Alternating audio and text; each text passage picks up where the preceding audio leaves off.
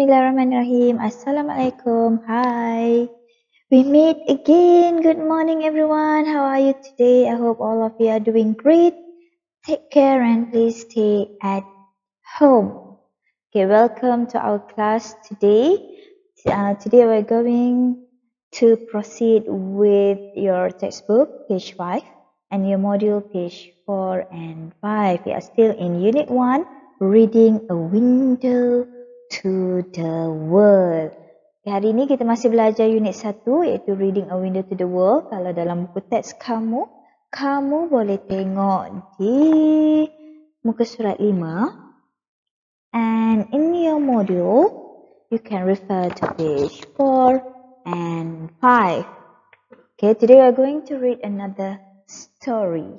So I want you to listen and try to read together. Okay, kita dengar dan kita cuba baca sama-sama dengan sebutan yang betul with the correct pronunciation. Okay, let's begin. So before we move on, let's credit our worksheet today from Teacher Idayu. Thank you, Teacher Idayu.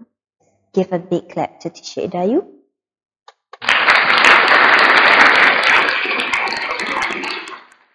So our objectives today, read the story with correct pronunciation and stress, and you are able to match six to seven words or phrases correctly. What do you need for our class today? You need your textbook, English Year 6. You need your dictionary, kamus dui bahasa, tak kisah apa-apa dictionary, apa-apa kamus pun. And then you need your module and your stationery. Okay? Let's tulis. Okay, now let's read. Okay, refer to your module page 4. Tengok modul muka surat 4. Textbook cerita ni di muka surat 5. Okay, dengar, baca sama. Sama, you can repeat again. Boleh ulang lagi kalau uh, tak dapat. Okay? Pak Johan owned an organic vegetable farm. He was able to grow good organic greens because of his scarecrow. Pak Johan built the scarecrow himself and made it as scary as possible. He gave it enormous straw arms that stretched out about two meters, and big long legs. The scariest thing about the scarecrow was its head which was made of a huge earthen pot. The scarecrow's face was so scary and ugly that even he was scared to look at it. It was very effective, scaring away every bird that tried to eat his vegetables. The neighboring farm owners, Man and Lan were jealous of Pak Johan's success. One night, they stole his scarecrow and locked it in their house. The next day, Pak Johan realized his scarecrow was missing and his greens were eaten up. He was devastated. That night the brothers had trouble sleeping. They could not get the image of the scarecrow's horrible face out of their minds. Man took out the scarecrow, smashed its head with a hoe, and buried it in their lawn. At midnight, they heard scratching and clawing sounds at their door. Suddenly, the door burst open and a long straw arm snaked in. The men froze in fear. They locked in horror as the headless scarecrow's body rose up. It caught Lan's neck. Lan shouted for help but Man had already made his way onto the moonlit road. Man kept running. He glanced back over his shoulder and saw the scarecrow chasing after him. It was getting closer and closer to him. He noticed that the scarecrow had a new head and it looked like. Alright, so That's all for the story. Okay. Itu adalah cerita dia.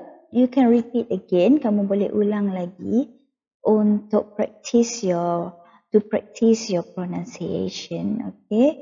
So, kamu boleh ulang balik untuk uh, praktis sebutan-sebutan yang betul. If there are any words that you don't understand in the story, you can always use your dictionary and you can Google.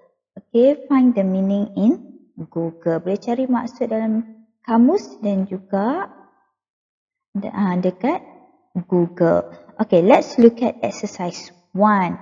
Okay, exercise 1 dekat page dalam modul kamu. Okay, exercise 1 dekat muka surat 5. Okay, let's read the instruction together. Kita baca arahan di sama-sama. Match the words or phrases in bold in the passage to the meanings given below. Kalau kamu perasan tadi, uh, dekat dalam cerita tu, okay, in the story or in the story in your textbook, there are words okay, that in bold. Ada perkataan-perkataan yang dihitamkan.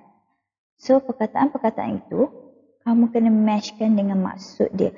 Kena letak dengan maksud yang betul. Apa yang dibagi kat sini maksud perkataan dalam English. Okay, there are the meaning in English for the words in the story untuk perkataan-perkataan yang ada dalam cerita tadi. So, if you want to know the meaning, contohnya,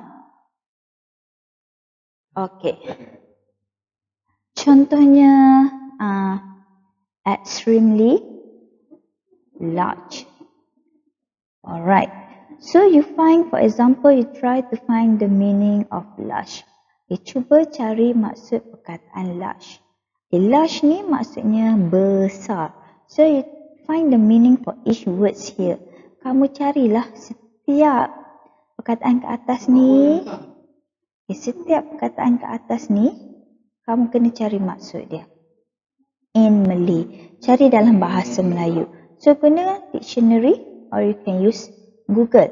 Okay, for example, enormous. Enormous ni maksudnya